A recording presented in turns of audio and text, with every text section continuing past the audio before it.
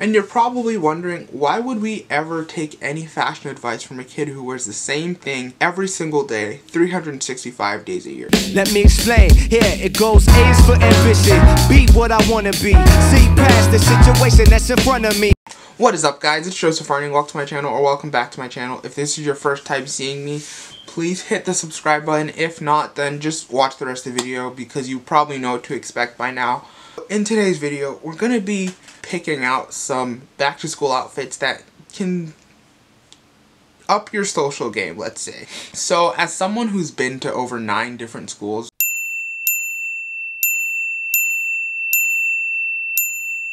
because my parents move around a lot. It's a really long story.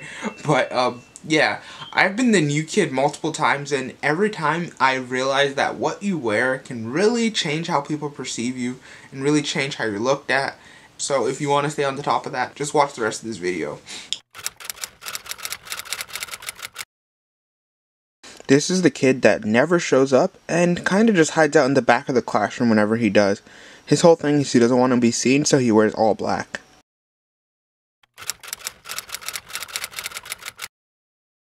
This is the super chill person who's probably friends with everybody, and I mean every single person, doesn't really have a clique and just floats around, and has a better GPA than you even though he never studies.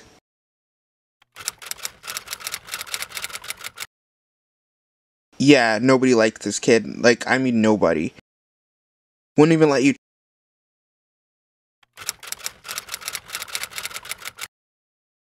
This is the flex god of your high school.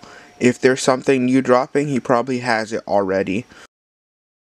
And he makes at least 10k every year selling stuff on StockX.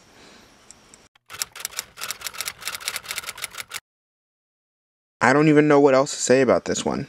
And we all know one too. For some reason, they just live to fish. Fishing is their entire existence, fishing is their being.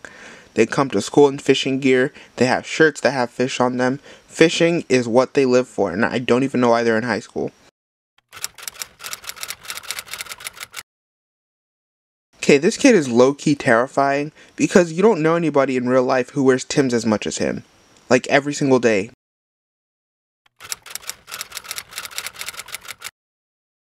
And lastly, I just wanted to say no matter what you decide to wear on your first day of school, as long as you like it and you think it's cool, it doesn't really matter. Alright guys, so that's it for today's video. Why is my hand in the air? Video, thank you so much for watching. If you like this video, don't forget to give it a thumbs up. If you didn't, then, well, I guess comment and follow me on Instagram because you might like a few pictures there. But it's funny how I always psyched up the whole experience in my head. Like, I thought nobody was going to talk to me or, like, everyone's just going to be staring at me, judging me the entire time. But the reality is, you're probably going to get ignored. Like, nobody cares that you're new. Nobody cares that they don't know you. They probably want to talk to you. So just think about that instead. I think the worst part is the teachers though. Because I know some teachers that whenever I walked into class, they ignored me. Which is the worst because like you're the teacher. You're supposed to be like introducing me to the class. Or they were just over dramatic with the intro, you know. Like they kind of made you feel like a third grader and it's like I, I don't need all that attention today. Especially when you're tired, um, you're living out of boxes because you just moved there, and you probably didn't have breakfast because you were too nervous to eat. So if you're a teacher out there and you want to do first day intros, just leave me alone. I don't need it. Just either just say, hi class, welcome our new student, or just don't talk to me because I'm probably really tired and I don't want to be talked to. And honestly, it was super fun to make, and I just didn't take it too seriously. Like, the descriptions were just off the top of my head, to be honest. So, if you liked it, then good. If you didn't, then I don't know what to tell you. Thank you so much for watching anyway. And I will see you guys in the next video. I niggas, they inspire me to love them. G is past go, ignite the cash flow. When H is put your heart in, whatever's your last hope.